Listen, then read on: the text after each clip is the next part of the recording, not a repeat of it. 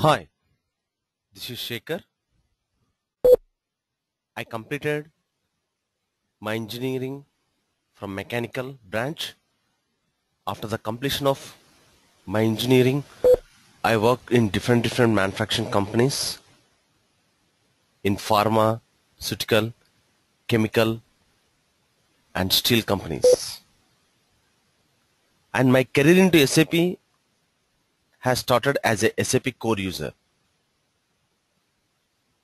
Then later on, I moved into the SAP ERP environment as a SAP logistics functional consultant. My total experience is 15 years of experience. Out of 15 years of experience, 10 years as a SAP functional consultant into the modules like SAP MM materials management, WM warehouse management, PP production planning and sales and distribution etc. In the today's session we are going to discuss about ERP about the ERP packages why ERP and objectives of the ERP about SAP and the origin of SAP yeah.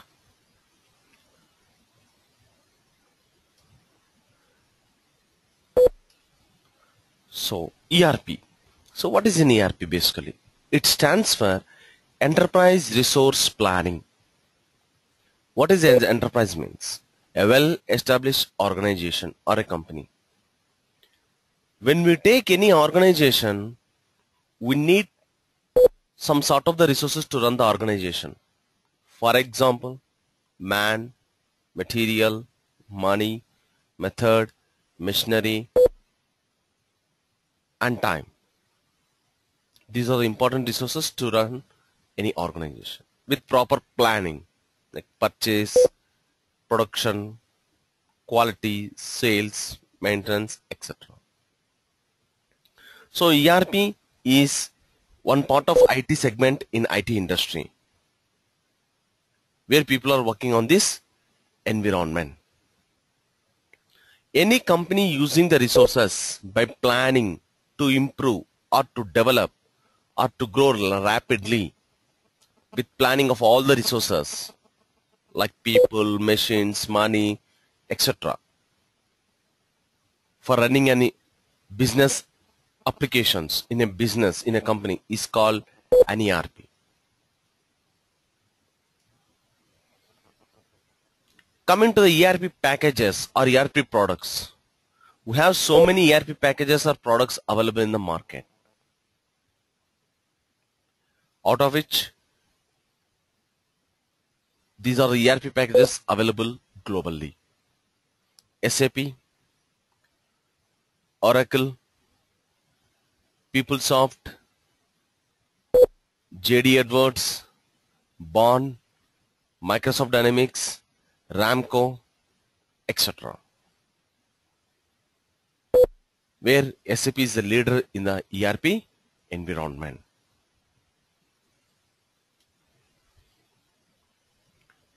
The objectives and the goals of the ERP. Whenever an organization is running the ERP applications.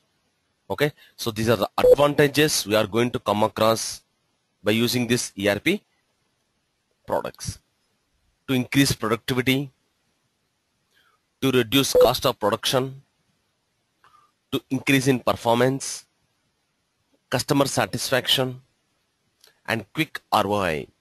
So ROI is nothing but return on investment.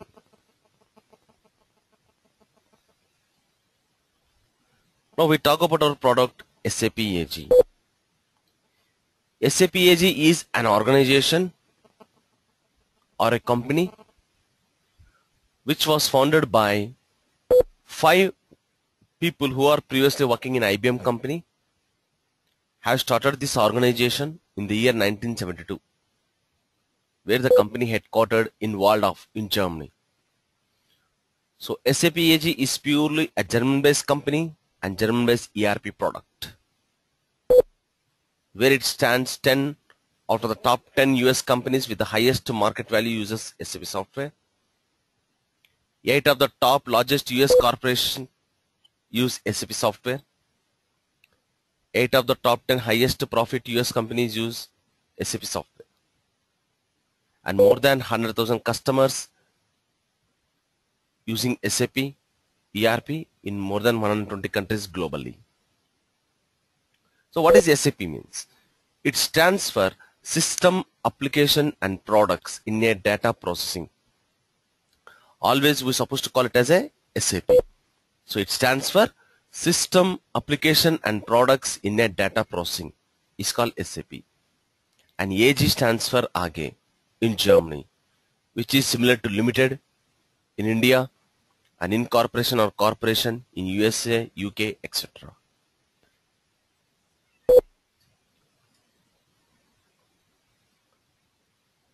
Now these are the five people are the founders of SAP company and SAP ERP product. Dietmar Hopp, Hans Werner Hector, Klaus Wellenreuther, Klaus Tschira,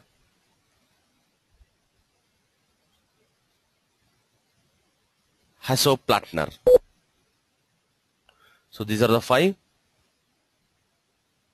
people who came out of IBM company have started this company and the ERP product.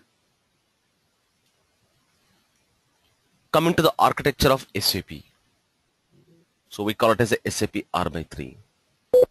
R stands for real time and 3 stands for three tier architecture where tier is nothing but scope of a computer or a system. First we have a single tier means the standalone system. Example PC, personal computer. Next two tier architecture. IBM mainframe system is called a two tier architecture where it contains two layers database layer and application layer. Next three tier architecture. SAP R R3 is a three tier architecture. It is divided into three layers. The presentation layer, graphical user interface GUI, application layer, web application and database layer, Oracle, DB2, Sybase, etc. So how this SAP is providing the solutions to the companies? This SAP, this SAP is divided into, this SAP ERP product is divided into two segments, technical and functional. We call it as a technical modules and we call it as a functional modules. These are different different technical modules what we have. ABAP, it stands for Advanced Business Application Programming. BASIS, Business Administration System Integrated Solution. BIBW, Business Information. Warehouse or Business Intelligence. XIPI, Exchange Infrastructure or Process Integration. MDM, Master Data Management, etc. So like this, we have different different flavors in technical modules. Now coming to the functional side, that is functional modules. When we take any organization, we'll have different different departments. Purchasing department, stores department, production department, sales department, financial department, risk accounting department, controlling department, maintenance department, quality department, administration department, projects department, safety department, etc., etc., etc. When you take any organization, we'll have different different departments. Okay. So when you take all the departments of one organization, when we compare with our SAP ERP product, each department is supposed to be treated as one functional module. MM, materials management. WM, warehouse management, PP, production planning and control, SD, sales and distribution, financial and control, FICO, plant maintenance, PM, quality management, QM, HR, human resources, PS, project systems, EHS, environmental health and safety. Next we have new dimensional products in SAP. That is a functional models we're supposed to call it as SRM stands for Supplier Relationship Management, CRM Customer Relationship Management, APO Advanced Planning and Optimizer, EWM Extended Warehouse Management, BPC Business Process and Consolidations. So these are the next procedure modules, the modules what we have seen before. Next we have IS specific models. IS stands for industry specific products in SAP. IS stands for industry specific. Retail, oil and gas, utilities, healthcare, automotive, pharmaceutical, media, etc.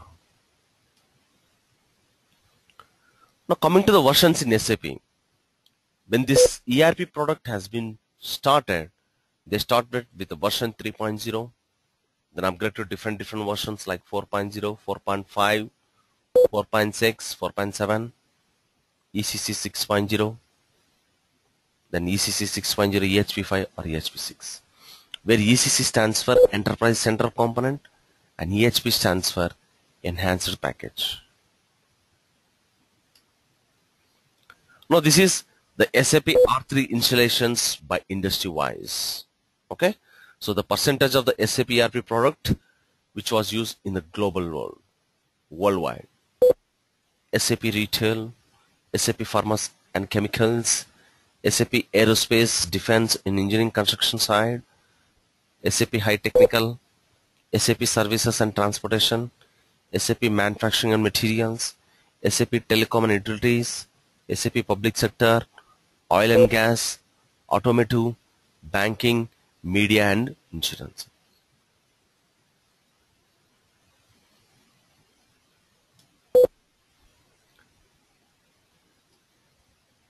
So this is a total SAP R3 Enterprise client or server. So this is the architecture of the, the SAP, how it look like with the modules, sales and distribution, materials management, production planning and control, quality management, plant maintenance, human resources, financial accounting, controlling, project systems, industry solutions, etc.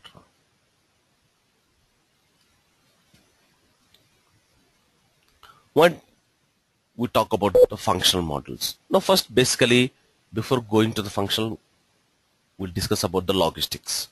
Now what is logistics? So logistics comprises all the process that are take place in any organization. So logistics will comprises all the departments or all the processes involved in any organization like purchasing, materials management, inventory management, warehousing, quality management, maintenance, sales, service management, etc. Now here we'll take the first functional model materials management. We call it as MM. So where this module will start and where it ends basically. This module deals about the requirement of identification of the materials. Once we identify the requirement of the material, we need to find out the source of supply or vendors available in the market. So as a buyer, we need to approach to the suppliers, raising the quotations, select selection of the vendor, then we create PO creations, then PO approval process takes place. Then the purchase order will be received by the vendor. Vendor send the material. Then finally the company will do the payment to the supplier. This total part comes under the purchasing activities comes under a model called materials management. PP, production planning and control. So what this model does? So this PP model will deals about the planning activities depending upon the customer business and depending upon the customer requirement, the planning will take place. So in PP module, we have different types of plannings. Okay, like reorder point planning, forecast based planning, time phase planning, independent requirement planning. So depending upon the customer requirement and the business process, the production planning module or the PP module will do the activities and finally they will execute the finished component as per the customer requirement. Next SD sales and distribution. So what this module does then? So this module supports the sales and distribution activities how it takes place in any organization where the company is going to deliver the material on time delivery interacting with the customers and knowing the requirements of the customers based upon the customer requirement requirements will be gathered and taking the time and delivering the material on time dispatching sections shipping and loading all this comes under a module called sales and distribution. And quality management QM stands for quality management. What this module does. For example I created a purchase order to the vendor. The vendor has sent the material. The moment when I receive the material from the vendor, it will not use or it will not place directly into the stores. First it will go to the quality department. The quality assurance department will decide whether you want to accept the material, whether you want to accept the inspection lot. So the moment when you receive the stock of the material from the vendor, inspection lot is generated from the quality management department. So the quality management department will decides whether you want to accept or reject the the lot of that stock of the material so they will do some sort of the quality test or plannings or some sort of quality measurements will be taken up all this comes under module called quality management plant maintenance pm stands for plant maintenance so what is this plant maintenance now when you take any organization we are supposed to use different different equipments or machineries. So we need to have some sort of the maintenance of these equipments or machineries. For example, we have a machine called DG set. DG stands for diesel generator where it generates a power. Okay. So this equipment or this machine has to go for maintenance. So in the industry we'll have different types of maintenance. Preventive maintenance, annual maintenance, breakdown maintenance, and how to ensure availability of the operational systems in the plant. Okay. Suppose if the machine is got damage, okay, or the equipment has got some problem, troubleshooting the problems that are faced by that equipment. All this comes under a module called plant maintenance. Next, finance. FICO, financial controlling. So this total module deals about the payables, accounts payables, accounts receivables, that is doing the payments to the vendors, receiving the payments from the customer, okay, and controlling deals with the planning and control instruments for company-wide controlling systems, okay, capturing all the costs that are taking place in any organization. All this comes under a module called financial and controlling. Services. It provides highly services management, integrated customer service. And human resources. The roles and responsibilities of this module is the personal administration, looking after all the, the human resources, covering of all the personal management and help simplify and speed the process of the time role and pay management. So like this, the functional modules activities takes place in any organization. And coming to the technical modules, ABAP. So it is a programming language in SAP. It stands for Advanced Business and Application Programming. BASIS. So it stands for Business Administration System Integrated Solution. So we're supposed to call it as a system administrator or network administrator. Now we discuss about the business process. When we take any organization, it may be mechanical, automobile, retail, pharmaceutical, chemical, we have the procurement types. And these procurement types are divided into two categories. They are external procurement, internal procurement. So what is this external procurement and what is the internal procurement? Let's say for example, a customer is there, Alex or a company. Now they are in need of a material that is a finished material, D is a finished material. If I want to manufacture this finished material D, I need the raw materials A, B and C. When I have the stocks of the raw materials A, B and C, then I can produce, I can do the production of the material D. And here the customer requirement is 100,000 tons of the material per month. Therefore, the customer approaches a company, for example, XYZ. So customer company. The relationship between these two is sales order. What is a sales order? It's a legal document between a customer and company. When the company accept the requirement given by the customer, we supposed to call it as a demand management or independent requirement. Now the company has accepted the requirement given by the customer. It means the company is ready to deliver the material what the customer needs. Now the company has to check the availability of the resources. It may be a material, manpower, equipments or machineries, etc. MRP. So what is MRP means? MRP stands for Material Requirement Planning. It's a planning tool. The abbreviation is Material Requirement Planning. Coming to the definition point of view, it contains information of inventory management data. What is inventory management data? Maintaining the stocks of the materials, that is raw materials. Next, BOM data.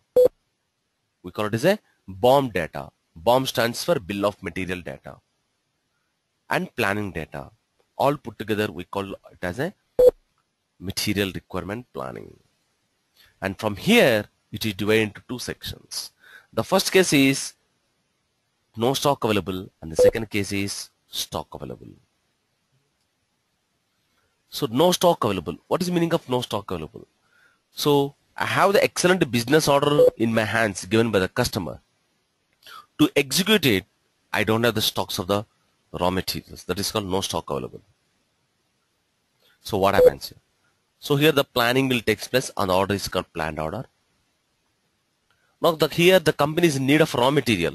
So purchase requisition will be generated. We call it as a PR so here the company is in need of material. So company has identified the requirement of the material. When we identify the requirement of the material then only we approach to the source of supply, nothing but source determination, nothing but vendor. When we approaches to the suppliers, that approachment will be done in the form of quotation. It means the buyer will create quotations to the vendors. We call it as a RFQ. RFQ stands for request for quotation. So we'll send the RFQ to different different vendors. the suppliers, if they are ready to supply the material, they will get back to the quotation sent by the company. So the company will receive and maintain quotation for vendors. So what they maintain? They maintain the terms and conditions, warranty, services, etc. Then the price comparison for the RFQs takes place. So we'll do price comparison, which vendor is giving for which price, etc. And finally, we'll select the source of supply or vendor okay not only the price is taken into consideration price quality delivery and the service are the four impact important parameters or important information will be taken into consideration to select the supplier or vendor. Now finally I know the material what I want to buy. I know the supplier from where I can buy. A relationship between the buyer and the supplier is called PO, that is purchase order. So purchase order is a legal document between a buyer and supplier. So purchase order creation takes place and if it has to go for approval, it will be approved by your manager, senior manager, whoever it may be, depending upon the organization hierarchy. Then purchase order confirmation takes place, follow up of the vendors. And finally, When we receive the material from the supplier, GR is created. GR stands for goods receipt with reference to purchase order. So once we receive the material, we'll receive invoice from the vendor. So we'll verify the invoice and finally we'll do the payment to the supplier. The moment the payment will comes, the financial department will look after the payment activities. Therefore, this external procurement leads to a model called MM, Materials Management. We have the other name for MM, that is purchase to pay or order to pay is the other names for the MM model. We call it a P2P or O2P. The second case is stock available. So what is meaning of stock available? So customer has given the order or customer has places the order and to execute it the company is having the stocks of the materials that is called stock available. So here what happens?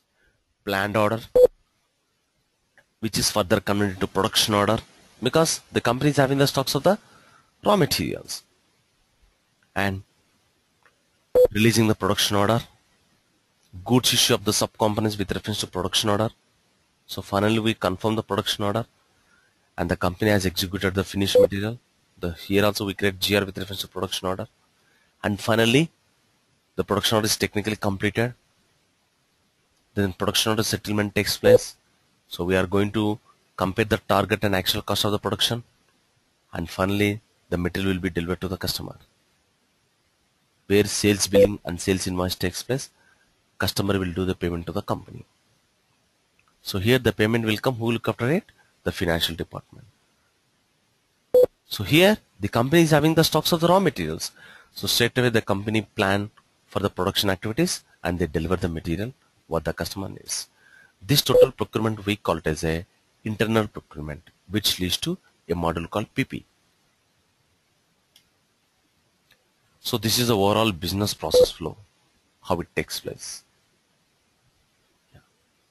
So coming from the materials management, right from the raw, raw material procurement up to the accounts payable. That is creation of purchase order, goods receipt, invoice receipt, accounts payable, which is done by the finance. Next, the other end of the MRP is if the company having the stocks of the raw materials, then go for the planning production and finally the costing will takes place which is done by the controlling when the finished material executed then the sales activities will come into the picture where the customer is where the company is going to deliver the material to the customers shipping loading unloading sections and billing will takes place which is done by the finance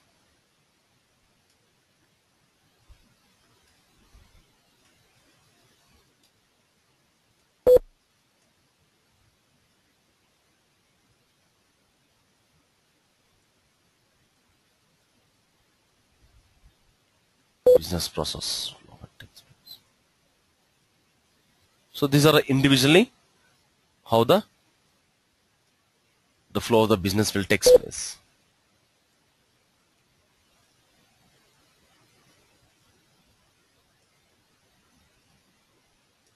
This from the SD side.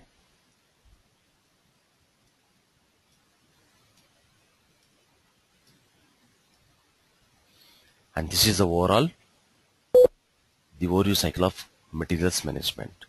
So requirement identification, source determination, that is the vendor determinations, vendor selections. Once vendor is selected, purchase order creations and purchase order processings, purchase order monitoring. When we receive the material, creation of the goods receipts, finally doing the payment and the payment process will take place. Right from identifying of the requirement of the material up to payment to the vendor. This total part comes under a model called materials management.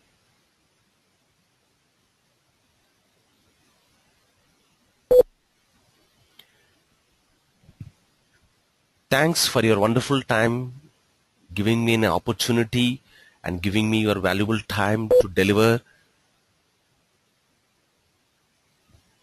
the session. That is, the, we call it as a demo session or a demo class for the presentation. and coming to the content what we are going to discuss in our training program okay so what we are going to discuss in our training program. So this is a SAP MM content.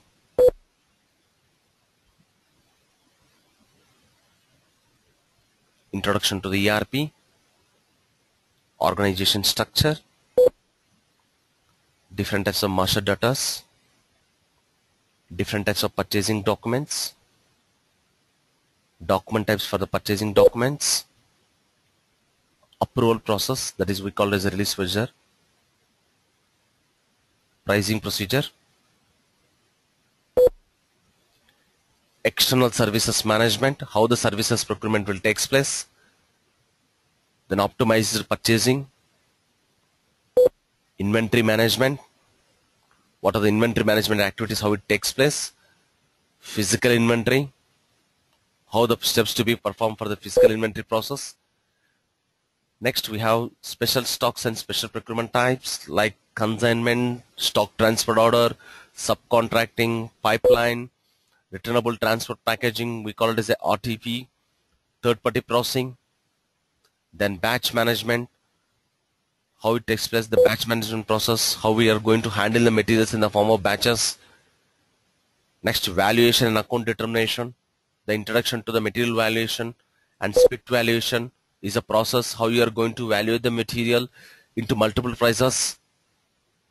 Next we'll discuss about the invoice verification and different types of invoices creations, invoice for purchase order, planned and unplanned delivery costs, subsequent debit, subsequent credit, credit memo, the blocking of the invoices, the releasing of the blocking invoices, GRIR clearing account, stochastic block, parking of the invoice documents. So like this, we are going to see the different different scenarios under invoice verification. Uh, next, we have the important and important topics like integration concepts. How this MM module is integrated with financial and controlling, with sales and distribution, production planning, with warehouse management, and next with quality management module. So these are very, very important topics how MM is integrated with other modules. And we are going to see the technical requirements for MM like LSMW, Legacy System Migration Workbench. Okay, how you are going to upload the data from non-SAP environment to SAP environment. Then MM standard reports and what are the tables involved, different types of tables involved in MM and general topics which are prerequisite. So that is differences between implementation project, support project, upgrade and rollout projects, gap analysis, as is and to be documents, then SAP system landscape, SAP testing, handling SAP tickets, and the sample resumes. Okay.